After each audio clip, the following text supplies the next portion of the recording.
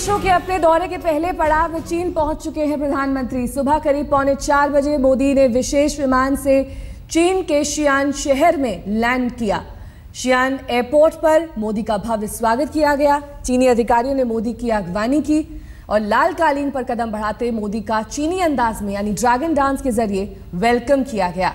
प्रधानमंत्री मोदी तीन दिनों की चीन यात्रा पर हैं और आज ही शियान में चीनी राष्ट्रपति शी जिनपिंग प्रोटोकॉल तोड़कर उनसे बीजिंग के बाहर मुलाकात करेंगे।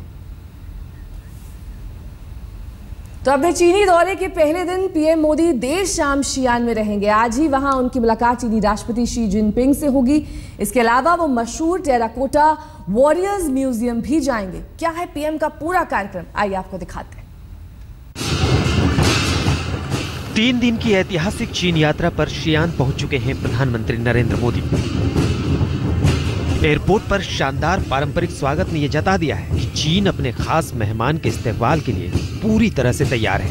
प्रधानमंत्री अपने दौरे का पहला दिन शियान में ही बिताएँगे। ये वही शहर है जो राष्ट्रपति शी जिनपिंग का गृहनगर भी है। शियान में पीएम मोदी का बेहद व्यस्त कार्यक्रम है।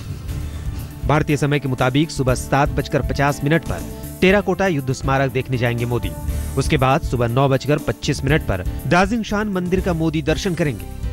शियान में ही दोपहर एक बजे चीनी राष्ट्रपति शी जिनपिंग मोदी का स्वागत करेंगे। उसके बाद दोपहर दो बजकर बीस मिनट पर पीएम मोदी बौद्ध पैगोडा जाएँगे, जहाँ वो पवित्र बौद्धि वृक्ष का दान करेंगे।